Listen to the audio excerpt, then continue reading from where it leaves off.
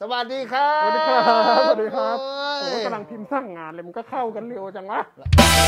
เร็วงานด่วนอืเอมองานด่วนครับเออเมื่อเช้าเราเจอกันแล้วไง เช้าอะคือว่าเช้าแล้วกันนะ กูว่ามันลงบ่ายเอาปะอะก็อย่างที่บอกคลิปนี้คลิป up to กูอยู่กันนะครัครับบผมเป็นบอลพรีเมียร์ลีกอังกฤใช่ษแล้ว ก็คือมันสัปดาห์นี้ก็จะมีเตะทั้งเสาร์แล้วก็อาทิตย์นั่นแหละ ใช่ส่วนวันเสาร์เนี้ย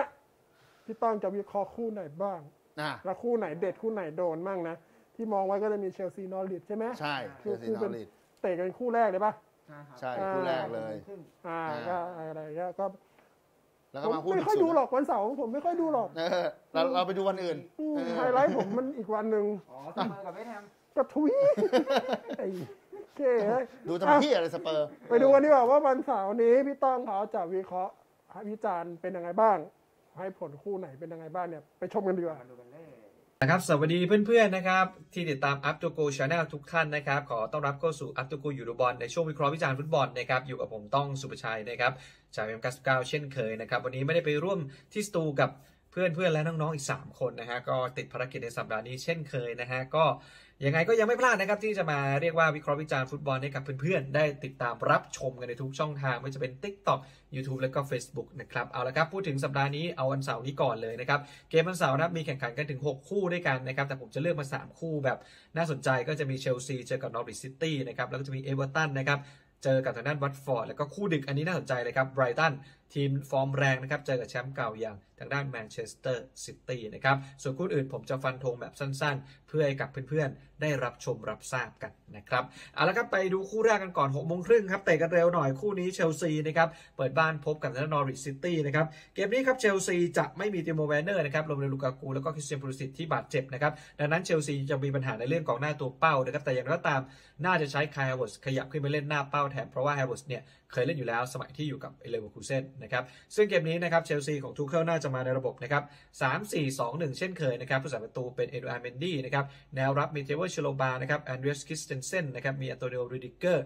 นะครับด้านกลางก็จะใช้โควาซิชนะครับกับจอร์จินโญไปก่อนนะครับริมเส้นด้านขวาเป็นรีซเจมส์นะครับทางซ้ายเป็นมาร์กอสอลอนโซ่ส่วนตัวรุกเนี่ยน่าจะให้รูเบนลอฟตัสชีกนะครับได้ลงบ้างในเกมเล็ก ๆ แบบนี้ที่เจอกับนอริชนะครับเล่นร่วมกับเมสันเมาท์และหน้าเป้าเป็นไคฮาแวร์ตซ์นะครับในขณะที่นอริชนะครับของแดเนียลฟาร์เก้ผลงานไม่ดีซะเลยนะครับตอนนี้อยู่บ้วยของตารางนะครับมีแค่ 2 คะแนนเท่านั้นนะครับเกมนี้ยังคงไม่มีคริสตอฟซิมเมอร์มันน์กองหลังตัวหลัก ที่ยังคงบาดเจ็บอยู่นะครับรวมถึงเช็คฟิตแซมไบรัมนะครับแล้วก็เพรสมิสลาฟพลาเชต้านะครับที่ยังบาดเจ็บไม่หายนะครับแล้วก็ต้องเช็คฟิตอีกหนึ่งคนก็คือทางด้านของท็อดแคนต์เวลล์นะครับ ส่วนคนอื่นพร้อมลงสนามทั้งหมดในระบบ 3-5-2 นะครับสำหรับตัวเป็นทิมครูลเหมือนเดิมนะครับ แนวรับมีโอซานคาบัคนะครับ มีเบนกิบสันนะครับ มีทางด้านของแกรนท์ฮันลี่ย์นะครับ แนวรับตรงกลางเนี่ยก็จะมีทางด้านของทางฝั่งซ้ายเนี่ย ก็จะเป็นทางด้านของเชียร์นูลิสนะครับทางขวาเป็นแม็กซ์แอรอนส์นะครับแล้วก็แดนกลางก็จะมีนอร์แมนมีแม็กคลีนนะครับก็มีลิสเมลูนะครับส่วนหน้าคู่เนี่ยก็จะเป็นตีมูปุกกี้นะครับกับทางด้านจอชซาร์เจนท์นะครับพูดถึงคู่นี้นะครับเอาเรื่องสถิติกันก่อนละกันนะครับคู่นี้เจอกันในพรีเมียร์ลีกนับเฉพาะพรีเมียร์ลีกเชลซีชนะ 11นะครับเสมอกัน 3 แล้วก็ทางด้านนอริชชนะแค่4นะครับส่วนปีที่แล้วเจอกันเนี่ยเป็นเชลซีเฉือนได้แค่ 1-0นะครับก็ถือว่าหลังๆเจอเนี่ยเชลซีชนะนอริช ไม่ง่ายนะครับชนะด้วยสกอร์เฉือนเกือบตลอดนะครับ ดังนั้นเกมนี้ถือว่าน่าจะเป็นอีกเกมหนึ่งเกมหนึ่งนะครับที่สนุกทีเดียวนอริชแม้ว่าปีนี้จะออกสตาร์ทได้อย่างย่ำแย่นะครับ แต่พวกเขาจริงๆก็มีเกมรับที่เหนียวแน่นพอสมควร แต่มักจะทำนกแตกเมื่อโดนประตูแรกนะครับ เกมนี้ถ้าให้มองรูปเกมนะครับ ผมเชื่อว่าเชลซีน่าจะครองเกมบุกเข้าใส่อย่างหนักนะครับในการเจอกับนอริททีมที่เรียกทีมรองบอลอยู่แล้ว และนอริทปีนี้เนี่ยไม่ได้เสริมตัวผู้เล่นมากมาย และทีมพวกเขาเนี่ย ค่อนข้างจะยากลำบากในการประสบปัญหาผู้เล่นบาดเจ็บนะครับดังนั้นผมเชื่อว่าเกมนี้นะครับเชลซีจะเดินหน้าบุกอย่างหนักแม้ไม่มีหน้าเป้า แต่จะยิงได้นะครับในเกมที่เจอกับนอริทแบบสบายๆนะครับเชื่อว่าเกมนี้เชลซีจะบดเอาชนะไปได้นะครับด้วยสกอร์ 2 ประตูต่อศูนย์นะครับก็น่าจะ พอดีพอดีนะครับสำหรับคู่นี้นะครับเอาละครับขยับไปดูคู่สามทุ่มกันบ้างนะครับ อีกหนึ่งคู่ที่ผมบอกไปนั่นคือเอเวอร์ตันนะครับเจอกับทางด้านวัตฟอร์ดนะครับเกมนี้เอเวอร์ตันดาวฟ้าก็ปวดหัวพอสมควรนะครับ เพราะว่าทางด้านของฟาเบียนเดลฟ์ก็เจ็บอยู่ก่อนแล้วนะครับรวมถึงอับดุลลายดูคูเร่เนี่ยเพิ่งเจ็บในเกมล่าสุดนะครับมีอาการเจ็บเท้านะครับรวมถึงเยอร์รี่มินาก็เจ็บเท่ากับเจ็บ 3 คนแน่ ๆ ลงไม่ได้นะครับส่วนริชาร์ลิสันโดมินิกคัลเวิร์ตเลวินและอังเดรโกเมสต้องเช็คความฟิตอีกครั้งนะครับส่วนคนอื่น พร้อมลงสนามทั้งหมดนะครับ คาดว่าเอเวอร์ตันจะมาในระบบ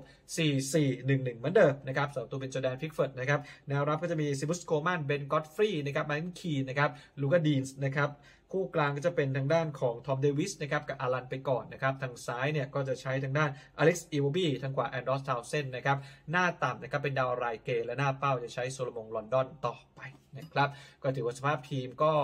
ไม่ถึงกับแย่มากก็สมบูรณ์ประมาณหนึ่งนะครับในขณะที่วัตฟอร์ดนะครับของเคลาดิโอรานิเอรีนะครับเปิดมานัดแรกก็ไม่ดีซะเลยนะครับเกมนี้ออกมาเกมหนักอีกแล้วนะครับเจอกับทางด้านของเอเวอร์ตันเกมนี้นะครับวัตฟอร์ดจะไม่มีปีเตอร์เอเตโบนะครับฟรานซิสโกเซียรัลต้านะครับชินคริสเตียนกาบาเซเล่ที่เจ็บทั้งหมดนะครับรวมถึงนะครับต้องเช็คฟิตทางด้านของโจชัวคิงนะครับซึ่งน่าจะมาในระบบนะครับ4-2-3-1 ในวันเสาร์นี้นะครับผู้รักษาประตูเป็นเบนฟอสเตอร์ครับแนวรับเป็นกิโก้เฟเมเนียนะครับมีเคร็กแคทคาร์ทนะครับยืนคู่เซนเตอร์กับทางด้านวิลเลียมทรูสต์เอกองนะครับแบ็กซ้ายเนี่ยจะเป็นแดนนี่โรสนะครับแดนกลางเป็นยูไรคุชก้านะครับคู่กับมุสซาซิสโซโกนะครับตัวรุกจะมีอิสไมลาซาร์ทอมเคลเวอร์ลี่ย์นะครับมีเอร์นานเดซและกองหน้าเป็นเดนนิสนะครับก็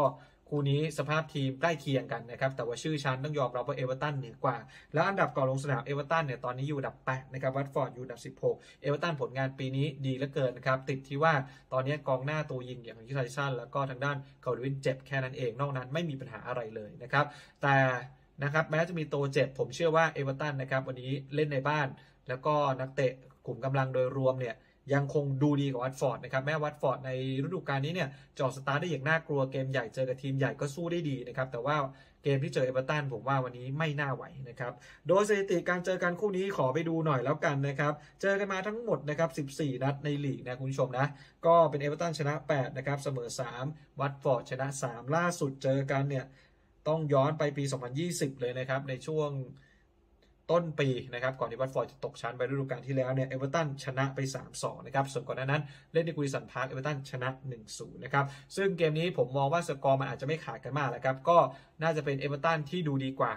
แล้วก็น่าจะบดนะครับเฉือนชนะไปได้เกมนี้ผมมองว่าทางด้านเอเวอร์ตันน่าจะชนะไปได้ 1 ประตูต่อศูนย์นะครับ ก็เดี๋ยวคอยดูกันแล้วกันนะครับเอาแล้วก็ไปปิดท้ายที่คู่ดึกดีกว่านะครับห้าทุ่มครึ่งคู่นี้นะครับก็ต้องบอกว่าเป็นเกมสนุกสุดมาแน่นอนครับเกมที่ Amex Stadium นะครับไบรตันเปิดบ้านพบกับทางด้านแมนเชสเตอร์ซิตี้นะครับเกมนี้ไบรตันของแกรมพอตเตอร์ก่อนลงสนามอยู่อันดับ4นะครับ แมนซิตี้อยู่อันดับ 3 ถือว่าเป็นเกมสนุกบิ๊กแมตช์ประจำสัปดาห์ในวันเสาร์เลยนะครับ เกมนี้นะครับ แกรมพอตเตอร์จะไม่มีสตีฟอัลซาเต้นะครับ ไม่มีแดนนี่เวลเบ็คที่เจ็บนะครับ รวมถึงต้องเช็คฟิตอดัมเวบสเตอร์ ส่วนคนอื่นไม่มีปัญหานะครับ มาในระบบ 3-5-2เฝ้าประตูเป็นทางด้านโรเบิร์ตซานเชสแนวรับมีเชนดัฟฟี่นะครับลูอิสดังค์นะครับแดนเบิร์นยืน 3 ประสานแนวรับนะครับส่วนตรงกลางมีอีฟบิสซูม่าอดัมลาลาน่าปาสคาลโกรสนะครับริมเส้นซ้ายขวาโจเอลเวลท์แมนกับมาร์คคูคูเรย่านะครับส่วนคู่หน้าเลอันโดรทรอสซาร์กับนีลโมเปย์ก็ถือว่าเป็นชุดใหญ่ของไบรตันเลยนะครับในค่ำคืนวันนี้แน่นอนนะครับส่วนในด้านแมนเชสเตอร์ซิตี้ของเป๊ปกวาร์ดิโอล่านะครับไม่มีปัญหาอะไรเลยนะครับนอกจากจะขาดเพียงแค่เฟรันตอเรสที่มีปัญหาเจ็บเท้าจากเกมทีมชาตินอกนั้น สมบูรณ์มากๆนะครับเกมนี้นะครับเชื่อว่าซิตี้จะมาในระบบ 4-3-3เฝ้าประตูเป็นเอเดรสันโมราเอสกลับมาแล้วนะครับ แนวรับเนี่ยก็จะมีทางด้านเจากันเซโลรูเบนดิอาสเอเมอริกลาปอร์ตนะครับโอเล็กซานเดอร์ซินเชนโก้นะครับส่วนแดนกลางก็จะมีทางด้านเควินเดอบรอยน์ มีโรดรี้มีแบร์นาร์โดซิลวานะครับตัวรุกมีกาเบรียลเชซุสฟิลโฟเด้นและแจ็คกริลิชนะครับโอ้คู่นี้มันแน่นอนนะครับก็ต้องบอกว่าเป็นเกมหนึ่งที่น่าดูนะครับหลายคนน่าจะรอดูในช่วงดึกเลยทีเดียวนะครับก็คู่นี้ไปดูสถิติกันหน่อยแล้วกันนะครับเจอกันมา 8 นัดในพรีเมียร์ลีกต้องยอมรับว่าซิตี้แบบ one way ก็ว่าได้นะครับซิตี้ชนะ7ไบรตันชนะเพียงครั้งเดียวนะครับใครชนะครั้งเดียวเกิดขึ้นเมื่อครั้งล่าสุดนะครับ เมื่อฤดูกาลที่แล้วนะครับเมื่อทางด้านของไบรตันสามารถเอาชนะแมนซิตี้ได้ 3 ประตูต่อ2นะครับซึ่งเกมนี้ผมว่าน่าจะคล้ายๆกับเกมที่แล้วนะครับไบรตันช่วงหลังตอนนี้ฟอร์มดีที่บอกตอนนี้เกาะ top four อยู่ด้วยนะครับเกมที่เจอกับซิตี้ค่ำคืนวันนี้เนี่ยน่าจะเล่นแบบ play safe นะครับดังนั้นผมเชื่อว่าเจ้าถิ่นพยายามจะยื้อเอาแต้ม ส่วนทีมเยือนจะบุกเพื่อทำแต้มนะครับซึ่งผมว่าสุดท้ายนะครับปีนี้เจ้าถิ่นมีทีเด็ดพอสมควร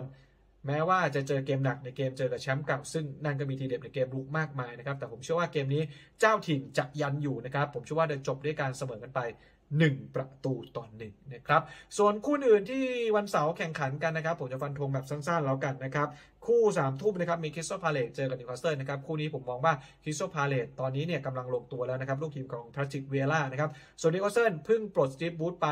ยังไม่รู้ว่าใครจะมาเป็นโค้ชต่อไปคนต่อไป ตอนนี้ใช้กุนซือชั่วคราวไปก่อน ดังนั้นผมเชื่อว่ามันจะมีความสับสนในทีม แม้ว่าจะเป็นบอลเปลี่ยนโค้ชแต่ยังมีความการเล่นที่ไม่แน่นอน ผมเชื่อว่าพาเลซของพาทริกวิเอร่าลงตัวกว่า และน่าจะดีกว่าน่าจะเอาชนะไปได้นะครับด้วยสกอร์2ประตูต่อศูนย์นะครับ